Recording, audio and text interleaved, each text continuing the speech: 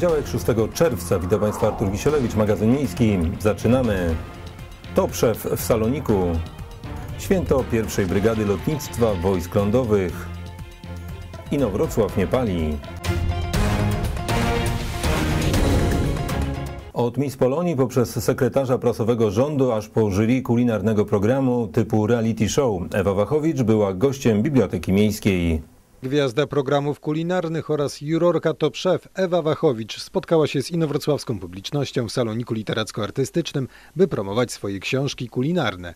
Niezwykle sympatyczny i otwarty gość Biblioteki Miejskiej dzielił się z fanami nie tylko swoją pasją do gotowania, ale również miłością do górskiej wspinaczki, podróżowania i działań producenckich. Ja jestem tym szczęśliwym, e, w tym szczęśliwym położeniu, że robię to, co kocham. To znaczy, z jednej strony pasją moją jest gotowanie, z drugiej strony pasją moją jest kamera i wszystko, co się wiąże z produkcją telewizyjną, przygotowaniem, filmowaniem, robieniem programów telewizyjnych i łączę te dwie pasje w jedną, robiąc program kulinarny, e, w którym jeszcze na dodatek ja występuję i ja gotuję, więc cóż, jestem szczęściarzem, ponieważ robię to, co kocham, to, co lubię.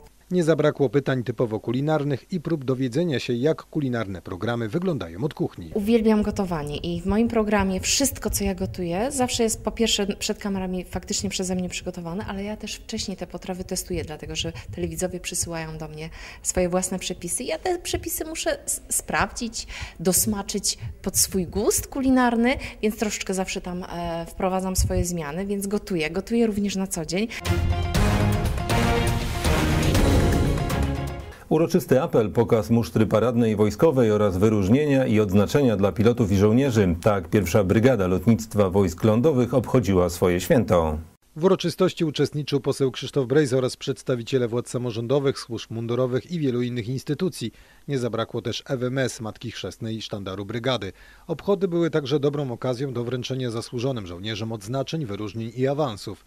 W tym roku nasza brygada świętuje jubileusz. Nie jest to, jak wspomniał już dowódca, piąta rocznica utworzenia pierwszej Brygady Lotnictwa Wojsk Lądowych. Jest to związek taktyczny w którym, który wykonuje bardzo ważne zadania dla obronności, kraj, obronności kraju, militarne, jak i te nie, niemilitarne. No, na wyposażeniu naszej brygady są śmigłowce Mi-24, Mi-2 oraz W3PL Głuszec. Uroczyste spotkanie zakończyła tradycyjna defilada wojsk i służb mundurowych.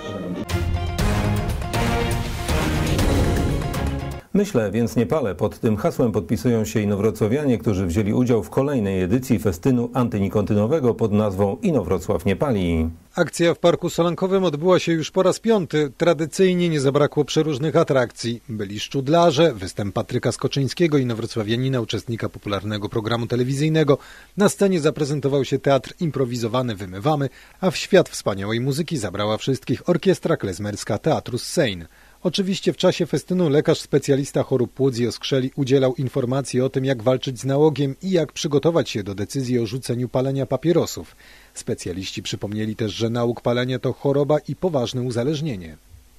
Przede wszystkim palenie jest y, chorobą, jest uzależnieniem i to tak silnym uzależnieniem, y, porównywalnym do uzależnienia od heroiny czy kokainy. Jest to uzależnienie, które jest trudno rzucić, a na dodatek jest to uzależnienie, które powoduje bardzo wiele powikłań z powodu właśnie samego palenia, a są to przede wszystkim choroby nowotworowe, aż 14 lokalizacji nowotworowych spowodowanych jest paleniem papierosów, a więc przede wszystkim jest to rak płuca, choroba, na którą umiera rocznie 20 tysięcy osób w Polsce. Rak krtani, rak żołądka, rak przełyku, rak, y, jak y, rak nerki, rak pęcherza moczowego, a więc tak odległych narządów, które wydają się nie mają nic związanego z, z wdychaniem, a jednak są to nowotwory tytoniozależne. Inne choroby to są choroby sercowo-naczyniowe, ryzyko zwiększa się przy paleniu papierosów, podczas palenia papierosów i także przede wszystkim choroby płuc, a wśród nich przewlekła obturacyjna choroba płuc, która jest nazywana wręcz chorobą zawodową palaczy. Organizatorem festynu było miasto i Fundacja Oddech Nadziei. To już wszystkie informacje w magazynie miejskim. Dziękuję za uwagę. Widzimy się jutro.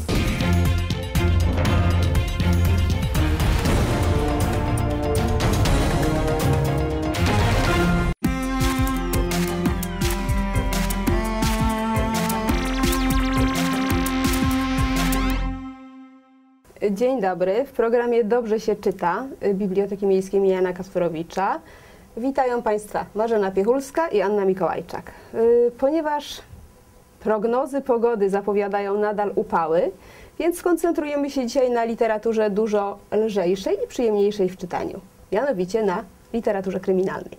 Pani Marzena. E, Rzeczywiście, wakacje, czerwiec sprzyjają czytaniu powieści kryminalnych. Symptomatyczne jest, że właśnie w czerwcu we Wrocławiu odbywa się Międzynarodowy Festiwal Kryminału i wybierany jest na nim najlepszy kryminał roku, jeśli chodzi o powieści polskie. Od kilku już lat na rynku wydawniczym pojawiło się bardzo wiele ciekawych nazwisk, innymi Mariusz Czubaj, Katarzyna Bonda, Marcin Wroński, Gaja Grzegorzewska, Marta Zaborowska. Ale tylko jednej osobie udało się dwukrotnie otrzymać nagrodę wielkiego kalibru. Jest to Zygmunt Miłoszewski i właśnie o jego książkach chciałabym dzisiaj powiedzieć. Miłoszewski debiutował w 2005 roku, ale odkrył go właściwie dla szerszej publiczności Jerzy Pilch, który ogłosił w jednym z czasopism e, ogólnopolskich konkurs na opowiadanie. Zygmunt Miłoszewski wysłał swoją pracę i wygrał ten konkurs. E, Pilch napisał o nim wtedy, że pojawił się nie lada majster i dla mnie był to sygnał, żeby spróbować przeczytać te książki. E, Miłoszewski debiutował powieścią grozy, a potem dopiero przerzucił swoje zainteresowania na kryminały. Pierwszy e, z nich to powieść Uwikłanie, która została opublikowana w 2007 roku. Co ciekawe, w powieściach Miłoszewskiego mamy nie tylko wątek kryminalny, bardzo zajmujący, ale także w każdej z powieści mamy poruszony problem społeczny, istotny właśnie dla Polski. I można ogólnie powiedzieć, że tak jak Norwegia ma e, Szwecja Stiga Larssona czy Heniga Mankela, my mamy Zygmunta Miłoszewskiego. W uwikłaniu porusza trudny problem e, brudnego świata esbeków i czasów po PRL-u. I pytanie zasadnicze, czy główny bohater da się wplątać w tą sieć powiązań biznesowych, politycznych, korupcyjnych, czy uda mu się wskazać sprawcę morderstwa. Druga powieść, opublikowana w 2012 roku, to Ziarno Prawdy. E, Ziarno Prawdy z kolei dotyka problemu antysemityzmu. I Miłoszewski nie ocenia żadnej ze stron, ale mm, daje czytelnikowi możliwość wyboru i wskazania y, osobistego. E, Jeśli chodzi o trzecią część cyklu, bo wszystkie te powieści stanowią pewien cykl, który łączy główny bohater. Trzecia część cyklu to Gniew, opublikowany niedawno, bo w 2015 roku i tutaj porusza Miłoszewski problem przemocy domowej, ale nie takiej przemocy zdawać by się mogło z rodzin patologicznych, e, lecz zupełnie inną sytuację. Gniew wydaje mi się najlepszą powieścią z tego cyklu, bo zaczyna się prawdziwym trzęsieniem ziemi, tak jak w filmach Hitchcocka, a później napięcie już tylko rośnie. E, Na uwagę zasługuje postać głównego bohatera, która mi kojarzy się e, z serialowym doktorem House'em i Sherlockiem Holmesem. Bezczelny, wygadany, jednocześnie profesjonalny, jeśli chodzi o pracę zawodową i bardzo zagubiony w życiu osobistym. Urzeka mnie też dowcip i humor ironiczny w tych powieściach. Dziękuję. Y, Ostatnio wiemy, że ukazały się także ekranizacje powieści y, pana Miłoszewskiego, Uwikłanie i Ziarno Prawdy. I czy to prawda, że w jednej z nich zmieniono płeć głównego bohatera?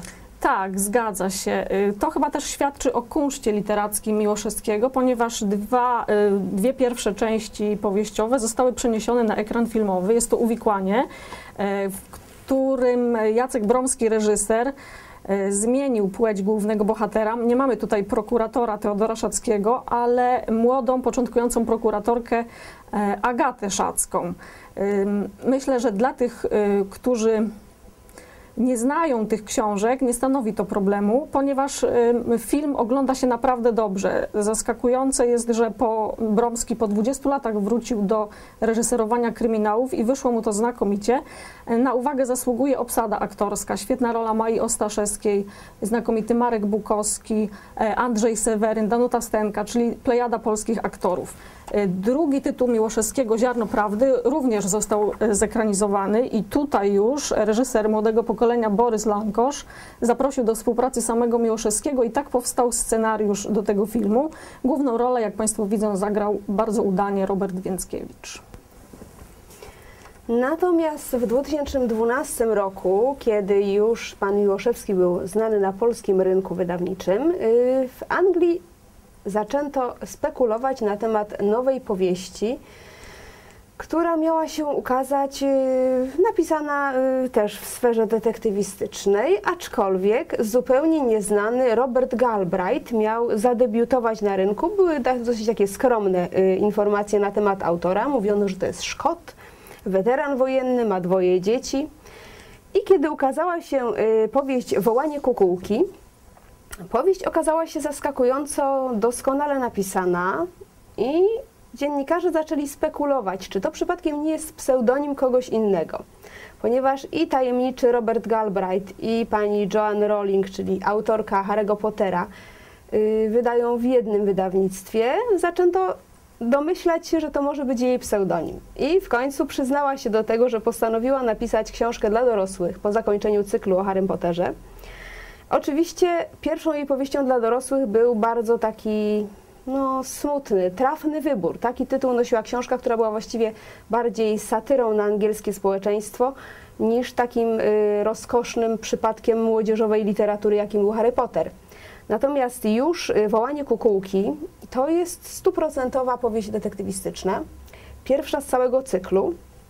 Y, pani Rowling wytłumaczyła, że Robert to jest jej ulubione imię, dlatego przybrała właśnie takie imię. Natomiast Galbraith zawsze jej nazwisko się podobało, chociaż nie kojarzyło jej się z nikim konkretnym. I dla niej samą przyjemnością było nareszcie pisanie jako ktoś zupełnie anonimowy. Czyli mówiąc krótko, starała się pisać to jako ktoś zupełnie nowy na rynku, w ten sposób stworzyła postać Kormorana Strajka, czyli detektywa, który ma przeszłość dość trudną. Y, kiedy właściwie poznajemy go w pierwszym tomie, ma kłopoty zawodowe, kłopoty osobiste i poznaje swoją przyszłą asystentkę, y, młodą i sympatyczną Robin Elacott, która stara się o pracę i po prostu jest zupełnie nieprzygotowana na to, co ją spotka mm, właściwie w towarzystwie y, Kormorana Strajka. Pierwsza książka dotyczy mm, elit, celebrytów, czyli y, Kukułka to jest pseudonim znanej modelki, która ginie w dość właściwie by się wydawało mm, oczywistych okolicznościach. Prawdopodobnie popełniła samobójstwo albo uległa nieszczęśliwemu wypadkowi. Natomiast brat tej dziewczyny prosi Kormorana Strajka o wyjaśnienie, dlatego że nie wierzy w przypadki. Wierzy za to, że ktoś postarał się usunąć jego siostrę. Druga powieść y, nosiła tytuł Jedwabnik i y, równie popularna, że tak powiem, y, na rynku brytyjskim. Spowodowała też wydanie trzeciej w obecnym, teraz już chyba tak, w 2016 roku. Mm, nosiła tytuł Żniwo Zła i w drugiej poznajemy dalsze losy Kormorana i Robin. W trzeciej natomiast rzecz już bardzo dotyczy konkretnie Kormorana, mianowicie rozpoczyna się akcja od takiej dość przerażającej sceny, że ktoś przysyła paczkę do biura detektywistycznego, w paczce jest odcięta noga. No niestety przerażające, natomiast Cormoran, y, jako że to była adresowana paczka do niego konkretnie, zaczyna podejrzewać cztery osoby. Y, talent do tworzenia intryg pani Joan Rowling poznaliśmy znając powieści z cyklu Harry Potter. Każda z tych powieści zawierała jakąś zagadkę, i tak samo jest w tych powieściach. My po prostu poznajemy nie tylko sam, y, samą akcję kryminalną, ale jednocześnie poznajemy też życie osobiste Kormorana, Robin i powolutku odkrywamy ich, y, ich przeszłość, dlatego że y, zarówno weteran wojenny, czyli Cormoran Strike, jak i Robin Elacott mieli swoje życie takie naprawdę dość skomplikowane, zanim poznali się i zanim właściwie zaistnieli na rynku. Te trzy książki dają nam nadzieję na doskonałą część dalszą cyklu. Mówi się też o serialu filmowym. Miejmy nadzieję, że będzie sfilmowany równie doskonale jak powiedzmy mm, obecnie Sherlock Holmes, czy właśnie jak Ziarno Prawdy. A jeżeli mówimy o festiwalu we Wrocławiu, w tym roku prawdopodobnie przyjedzie i gościem będzie słynna pisarka Tess Gerritsen. Tak, zaproszona jest również Charlotte Link i Peter Robinson, francuski pisarz Pierre Lemaitre. E, Na koniec może powiemy tylko, że wszystkie książki, o których tutaj mówiliśmy, e, można wypożyczyć w Bibliotece Miejskiej nie tylko w wersji papierowej, ale również dla tych, którzy wolą książek słuchać, spędzają dużo czasu w samochodzie e, jako audiobooki do odsłuchu. Można wypożyczyć u nas również filmy. Najnowsza nasza oferta to oferta serwisu Legimi. Wszystkie te książki można ściągnąć na urządzenia mobilne, czyli na smartfon, tablet i czytnik dla tych, którzy y, dojeżdżają do szkoły, do pracy, będą podróżowali na wakacjach. Zachęcamy do wypożyczeń. Dziękujemy, do widzenia.